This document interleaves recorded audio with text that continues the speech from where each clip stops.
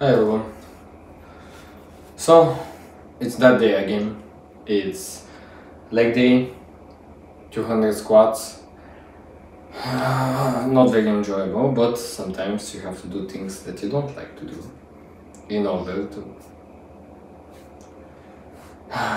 in order to get physically, mentally stronger, you know.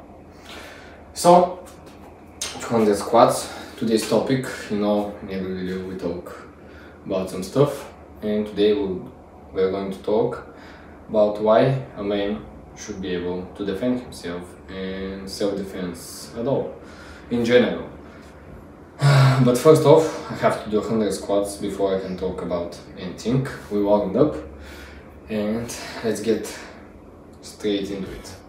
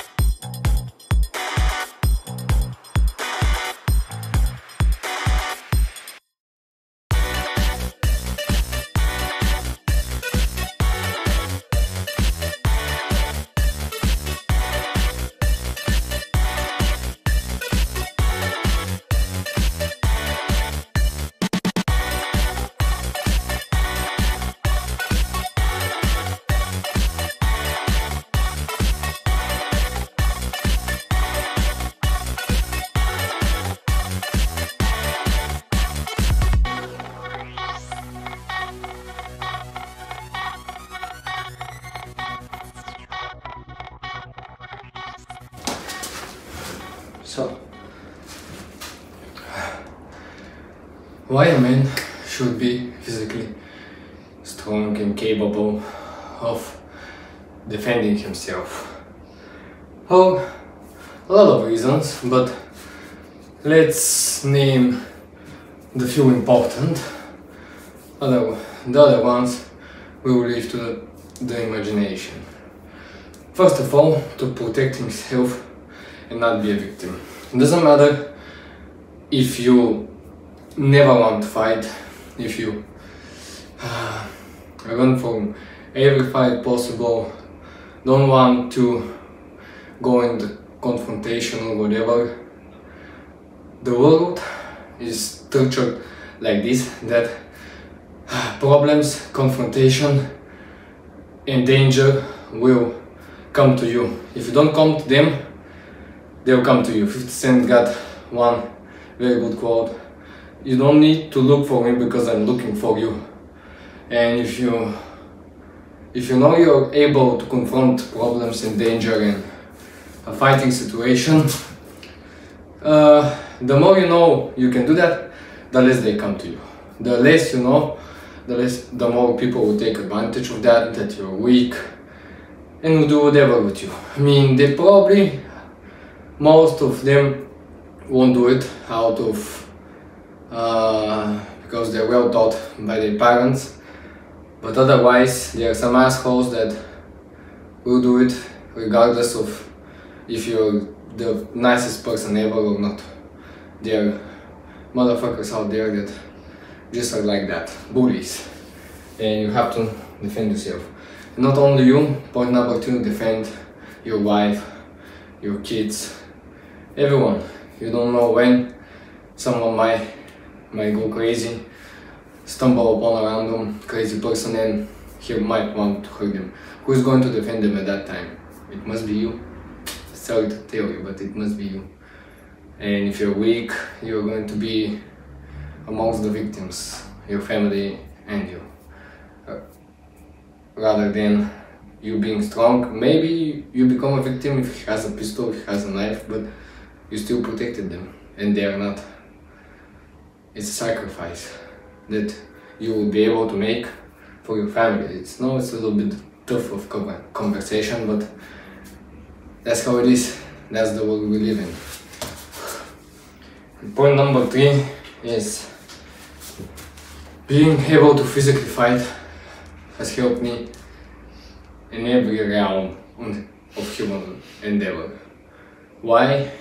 In business, I'm more confident with girls before I got a wife. I'm more confident with everything that I start, going to a job, this and that, everything. I'm more confident because I know I probably can fuck 99% of the people in the room. That that gives you a sense of of power over them, you know. And if you channel it right, being a good person, and let me tell you something before I go into the second part of the squats. Being able to fight and going to fight all the time against people and being a bully are two separate things. If you're a martial artist, boxer, MMA, wrestler, whatever, and you're good, you're not going and searching for fight and bullying others, no. You try to avoid it as much as possible, but when push come to shove, ready. And yeah, that's what I wanted to talk. Hope you enjoyed. If you want to learn how to fight, get stronger, get leaner, subscribe to my channel. And I'll teach you. There are a lot, a lot of more videos coming up about fighting, training in general. So stay tuned, stay till the end of, the, of every video and watch out.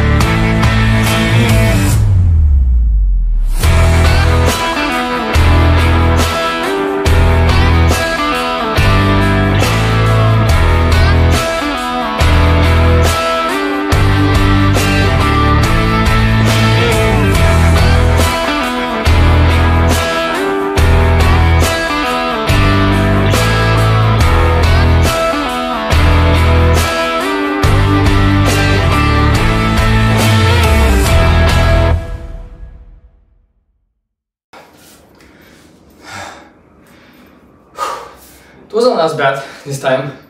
Starting to get used to it. So, hope you enjoyed my point of view on why you should be able to fight, to defend yourself, to be physically strong and capable, but also disciplined to not do it. If push hasn't come to, sh to shove. So, hope you're enjoying this type of videos guys. As I said multiple times, this one later on today it's coming a nice little training, 5 min. As I told you, 5 min of training, intense, is all you need for the beginning.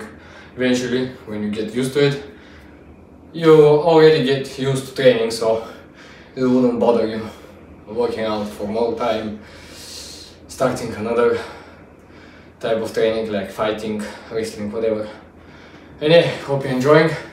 getting strong, getting those legs big, eventually some weights. And yeah, leave a like and subscribe and click that notification bell so you don't miss any new Tondjarov video because they are good.